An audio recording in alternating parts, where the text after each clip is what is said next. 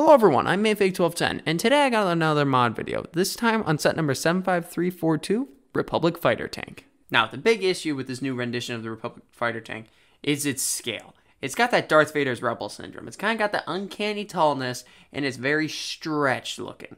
Similarly, the spring-load shooter guns, while they're great for play, are horrendously inaccurate to the actual tank. And the front hatch, well, despite this being a nearly perfect piece to capture that shape, it's on too narrow of a hinge and it leaves a giant gap and also makes the set look really, really tall.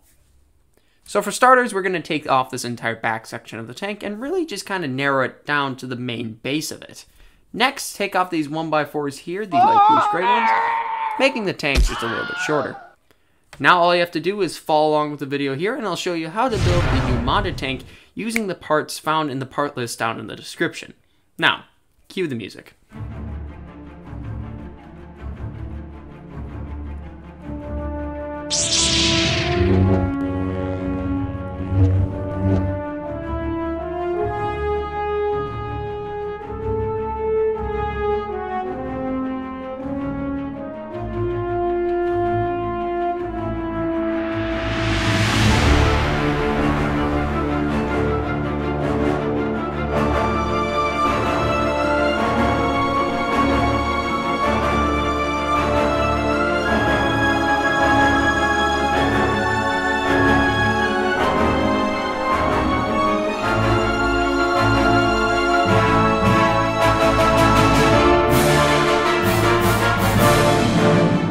And there we have it. The new and improved TX-130 is ready to hover out and fight for the Republic.